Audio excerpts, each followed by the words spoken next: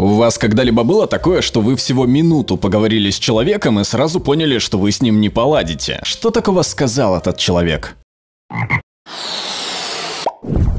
Новичок на работе. На первом же перерыве на кофе он начал жаловаться на свою бывшую, которая добилась полной опеки над детьми по какой-то причине, которую он не назвал, и сказал, что хочет перерезать ей горло ржавым ножом. Рад знакомству. Думаю, я больше не пойду пить кофе с тобой.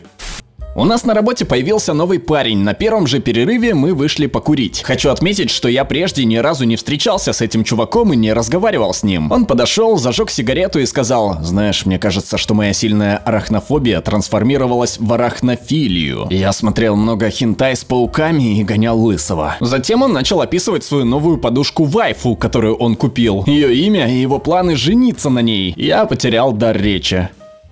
Один тихий паренек в нашей школе сел рядом со мной и рассказал, как ему было тяжело, когда он срал, и сколько раз он эякулировал таким образом. Я больше ни разу не сидел рядом с ним.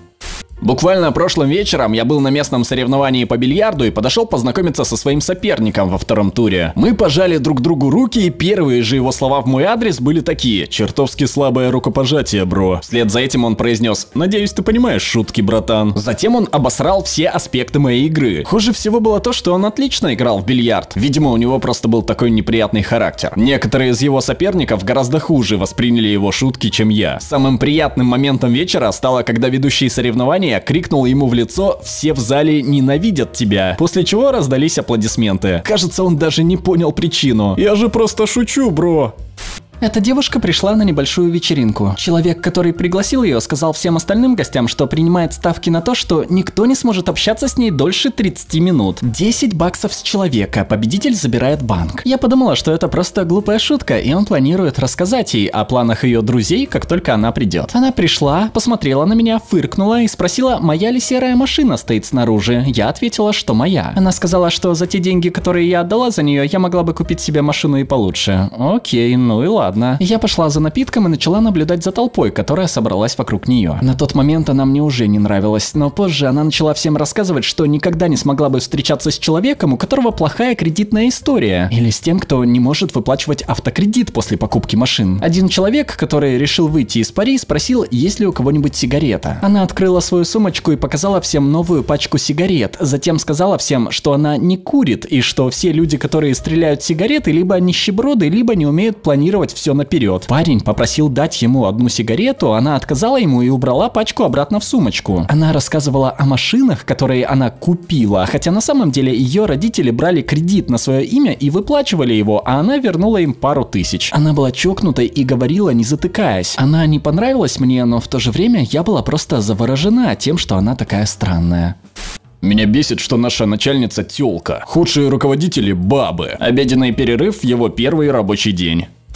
На мероприятии по бизнес-знакомствам я спросил у одного мужчины, с какой целью он пришел. Я мануальный терапевт, но хочу сменить род деятельности. Почему же? Из-за всех этих обвинений в домогательствах. В соседнем штате меня обвинили трое.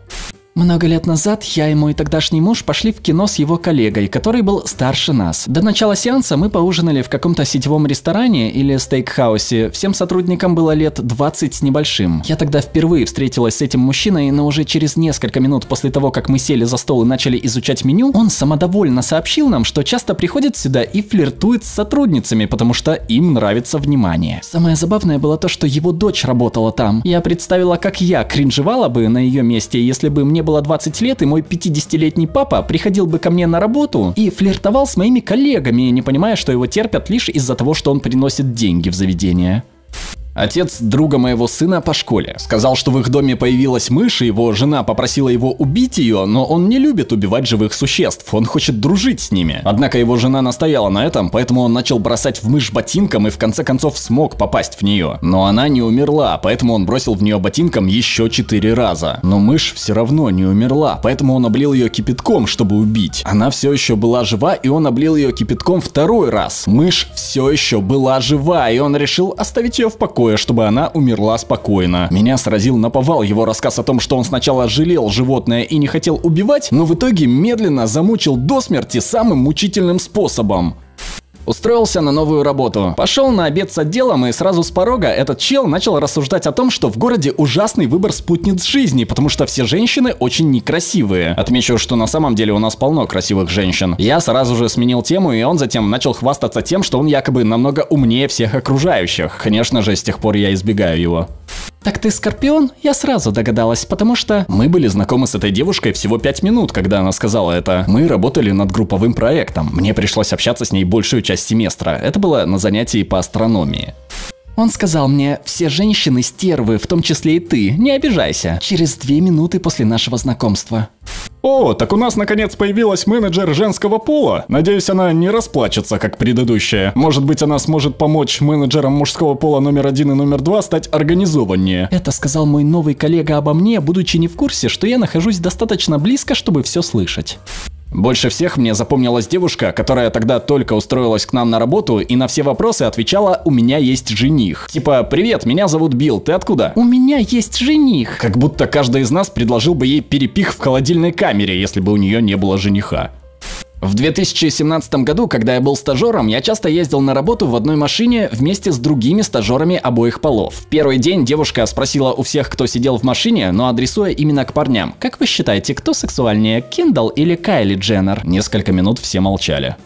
Я играл на барабанах и переходил из одной группы в другую, чтобы найти подходящую. Один гитарист, и я никогда не забуду этого, сказал, не знаю в чем дело, но киски афроамериканок очень воняют. Это было сказано совершенно из ниоткуда, когда мы обсуждали музыку на репетиции. Больше я его не видел и извиняюсь за то, что повторил его слова. В 2004 году, в первый день пребывания в общежитии колледжа. Первыми словами, с которыми мой новый сосед обратился ко мне после «Привет, меня зовут имя», «Ты ведь республиканец, не так ли?» Я не хотел создавать проблем в первые же минуты после знакомства, и я в то время не особо увлекался политикой, поэтому я просто сказал «ага», чтобы сохранить мир. Затем он наклеил на дверь нашей комнаты наклейку «Горды быть республиканцами». Это был не самый лучший год.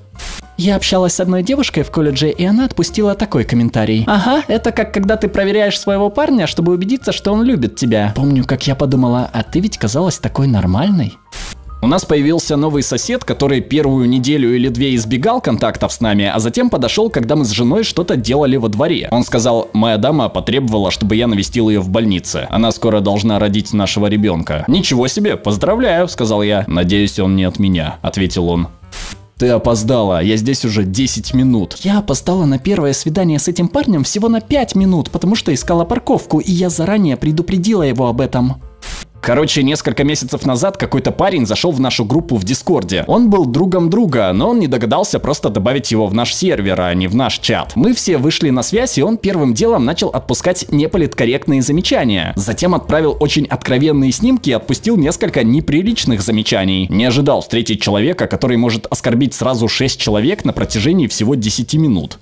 Экстрасенсы бывают разных уровней. Я сейчас на фиолетовом уровне, поэтому я могу говорить с покойниками», — сказала новая сотрудница на моей прежней работе. Да уж.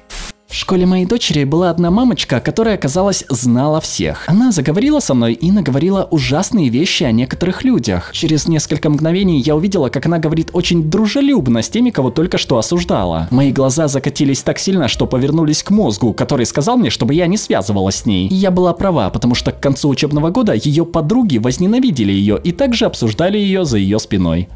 Когда я познакомился с новым соседом, он представился, затем ткнул себя в грудь и сказал, «Мои родственники говорят, что я как придурок быстрого приготовления, стоит только залить в меня пиво. Нет уж, мы с тобой не будем приятелями. Пошел ты к черту, Ирв, ты даже без пива придурок».